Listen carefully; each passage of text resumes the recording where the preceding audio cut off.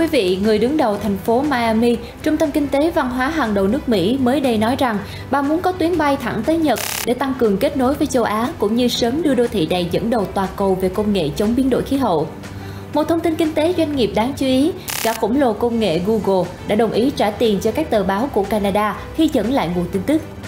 Liên quan đến cuộc bầu cử 2024 đang nóng lên với nhiều chiêu trò phê phán và công kích lẫn nhau, thống đốc Florida mới đây đã chỉ trích cựu tổng thống Donald Trump hợp tác với phong trào gây bạo loạn Black Lives Matter.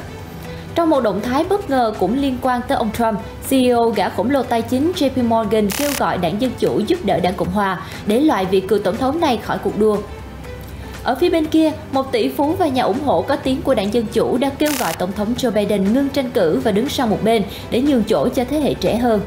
Tất cả sẽ có trong chương trình Review Kinh tế Hoa Kỳ ngay sau đây. Mời quý vị theo dõi. Thị trưởng vùng Miami-Dade, bang Florida, bà Daniela Levin Cava ngày 29 tháng 11 nói với Nikkei Asia rằng bà hy vọng Japan Airlines sẽ lập tuyến bay thẳng giữa Tokyo và Miami sớm nhất vào năm 2025 Sân bay quốc tế Miami hiện là trung tâm của hãng American Airlines, phục vụ nhiều chuyến đến các thành phố kinh tế lớn ở Trung và Nam Mỹ. Bà Kava cho biết đang đàm phán với Japan Airlines nhưng thừa nhận có thể tốn không ít thời gian. Họ đang chờ báo cáo và một số máy bay đang đặt hàng. Chính phủ ở thủ đô Tokyo tuyên bố 2024 là năm du lịch Hoa Kỳ Nhật Bản. Và Kava chia sẻ sẽ tốt hơn nếu việc ra mắt đường bay thẳng diễn ra vào năm sau. Vùng Miami-Dade, nơi sinh sống của 2,7 triệu người trên bờ Đại Tây Dương, là đơn vị hành chính lớn nhất ở bang Florida. Vùng này gồm nhiều thành phố, trong đó có Miami và Miami Beach, với dân số gốc Tây Ban Nha đông đảo. Miami được Financial Times và Nikkei xếp là thành phố tốt nhất Hoa Kỳ cho các doanh nghiệp nước ngoài năm 2022. Tuy nhiên đã rơi xuống vị trí thứ 6 vào năm 2023 vì chi phí sinh hoạt tăng cao. Dẫu vậy, bà Kava khẳng định Miami vẫn là thiên đường Khu vực này đã tạo ra 20.000 việc làm trong 2 năm qua và được coi như thủ đô của châu Mỹ. Sân bay Miami hiện đông khách thứ hai ở Mỹ là trung tâm du lịch toàn châu Mỹ. Sự đa dạng và tính quốc tế thực sự là lợi thế cạnh tranh của Miami. Hơn một nửa cư dân vùng Miami-Dade sinh ra ở nước ngoài. Có thể nói Miami-Dade đóng vai trò như cánh cửa dẫn đến Caribe, Trung và Mỹ Latin. Vì vậy mang đến cơ hội đầu tư tuyệt vời cho giới doanh thương Nhật Bản. Bakawa đặc biệt quan tâm đến thu hút đầu tư về chống biến đổi khí hậu, Miami thường xuyên bị bão tấn công. Sự ăn mòn từ biển góp phần gây ra tai nạn sập một chung cư ở ngoài ô Surfside năm 2021. Đối mặt với thách thức như vậy, Miami-Dade đã định vị mình là trung tâm công nghệ phòng chống biến đổi khí hậu. Bà Cava nói tiếp, chúng tôi bị ảnh hưởng lớn bởi biến đổi khí hậu, vì vậy muốn thu hút đầu tư và đổi mới công nghệ. Chúng tôi đang nỗ lực giải quyết các vấn đề về khả năng phục hồi sau thiên tai và phát triển bền vững. Chuyển qua một vấn đề khác về kinh tế doanh nghiệp, gã khổng lồ Google vừa đạt được thỏa thuận với chính phủ Canada sau nhiều tháng bất đồng về luật mới của quốc gia Bắc Mỹ. Yêu cầu các nền tảng trực tuyến lớn phải trả tiền cho những tờ báo nếu muốn chia sẻ lại bài viết. Bà Pascal Saint-Onge, Bộ trưởng Bộ Di sản của Canada nói hôm 29 tháng 11 rằng Google đồng ý góp 100 triệu đô la Canada, khoảng 74 triệu đô la Mỹ cho các tờ báo nước này. Điều đó sẽ đóng vai trò quan trọng trong việc định hướng người Canada truy cập vào những nội dung đáng tin cậy. Bà khẳng định một hệ sinh thái tin tức bền vững sẽ tốt cho tất cả. Tin tức và báo chí có tác dụng cung cấp thông tin cho cộng đồng, thúc đẩy sự tham gia của người dân vào chính sách của chính phủ, cũng như chống lại thông tin sai lệch. Việc tiếp cận tin tức minh bạch giúp người dân Canada hoạt động đầy đủ hơn trong xã hội dân chủ. Luật mới của Canada yêu cầu các nền tảng trực tuyến và nhà xuất bản tin tức phải trả tiền nếu muốn chia sẻ lại. Khuôn khổ được Google và chính phủ Canada đồng ý, bao gồm khoản tiền cho một loạt doanh nghiệp sản xuất tin tức, bao gồm cả hãng tin độc lập, hãng từ cộng đồng bản địa và người thiểu số. Thông cáo báo chí cho biết thêm, luật có hiệu lực từ ngày 19 tháng 12, chính phủ Canada nói họ sẽ không công bố thông tin chi tiết trước khi nó được ban hành đầy đủ. Bà Sen Onge thông tin Google sẽ hỗ trợ nguồn lực cho các tổ chức sản xuất tin của Canada, giúp đào tạo và sử dụng công cụ phát triển kinh doanh. Những người ủng hộ đạo luật cho rằng các nền tảng trực tuyến như Google và Meta đã tạo ra doanh thu quảng cáo của riêng họ từ những bài báo này, trong khi tổ chức sản xuất tin tức không được trả thù lao thỏa đáng. Thay vì trả tiền cho các hãng tin, Meta thông báo vào tháng 8 năm 2023 rằng họ sẽ ngừng đăng các bài báo ở Canada. Thời điểm đó, Google cũng ra tín hiệu sẽ làm theo.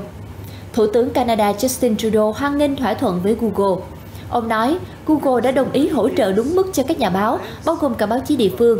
Meta cũng nên thể hiện trách nhiệm khi sử dụng tin tức từ bên khác.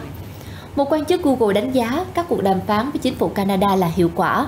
Google sẽ gửi lưu lượng truy cập đầy đủ tới những nhà sản xuất tin tức của Canada như yêu cầu. Chuyển qua tình hình bầu cử 2024, ứng viên tổng thống của đảng Cộng hòa Ron DeSantis mới đây đã chỉ trích cựu tổng thống Trump sau khi vị tỷ phú này nhận được sự ủng hộ từ nhà hoạt động Black Lives Matter khét tiếng Mark Fisher. Thống đốc Florida Ron DeSantis viết trên Twitter, Black Lives Matter, BLM, ca ngợi ông Trump. Ông Trump ăn mừng vì điều đó. Mối quan hệ hợp tác này đặt nhiều dấu chấm hỏi. Trước đó, ông Trump cho biết bản thân rất vinh dự nhận được sự ủng hộ từ BLM. Ông khẳng định đã làm nhiều việc cho người da đen hơn bất kỳ tổng thống nào trừ Abraham Lincoln. Ông Fisher, giám đốc cấp cao của BLM ở Rhode Island, đã thể hiện sự ủng hộ ông Trump vào ngày 28 tháng 11 với lời chia sẻ Tôi thích ông Trump, như các bạn biết đấy, người hiện tại đang ngồi trong phòng bầu dục, mang đến sự thất vọng sâu sắc. Ông DeSantis nói thêm, khi BLM tổ chức bạo động năm 2020 với tư cách thống đốc Florida, ông đã yêu cầu lực lượng vệ binh quốc gia làm việc và sẵn sàng cho mọi tình huống. Trong khi đó, lúc BLM đốt phá các thành phố và tấn công sĩ quan cảnh sát, ông Trump không làm gì ngoài ngồi nhà và đăng các dòng tweet. Thống đốc DeSantis cũng chỉ trích phản ứng của ông Trump trước các cuộc biểu tình trên toàn quốc sau khi người da đen George Floyd bị một sĩ quan cảnh sát ở Minneapolis làm thiệt mạng năm 2020.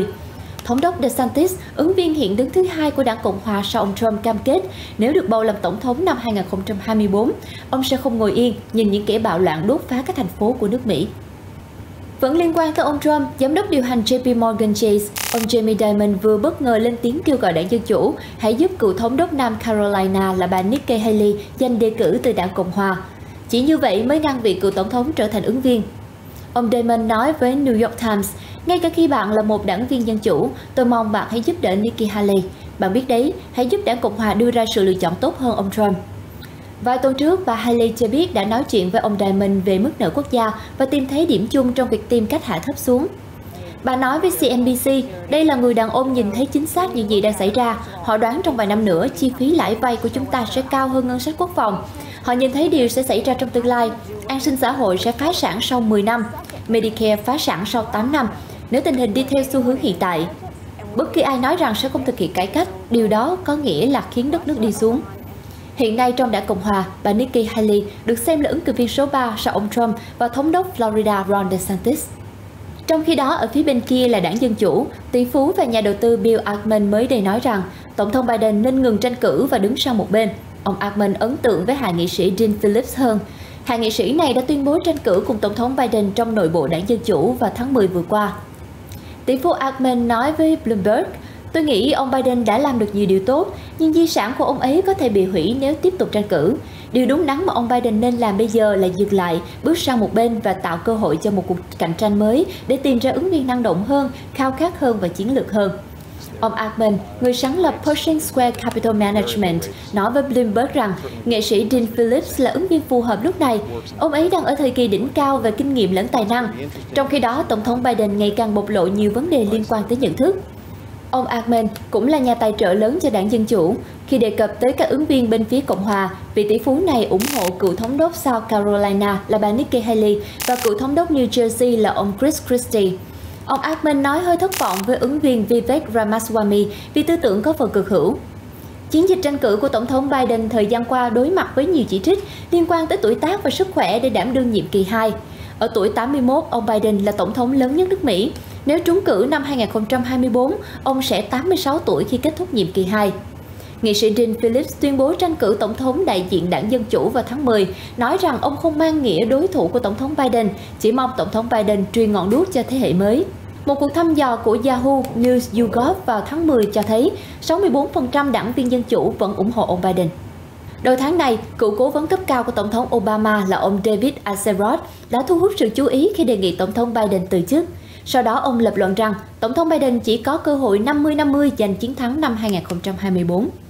Cũng trong buổi phỏng vấn của Bloomberg, khi được hỏi có muốn tranh cử làm tổng thống không, tỷ phú Ackman đáp, nếu đất nước muốn có tôi vào một thời điểm nào đó, bạn biết đấy, tôi sẵn sàng chấp nhận. Đây là điều đất nước muốn từ tôi, chứ tôi không tự đặt cho mình tham vọng đó. Chương trình review kinh tế Hoa Kỳ của chúng tôi hôm nay đến đây cũng kết thúc. Chân thành cảm ơn quý vị đã quan tâm theo dõi. Thân mến chào tạm biệt và hẹn gặp lại trong các chương trình sau.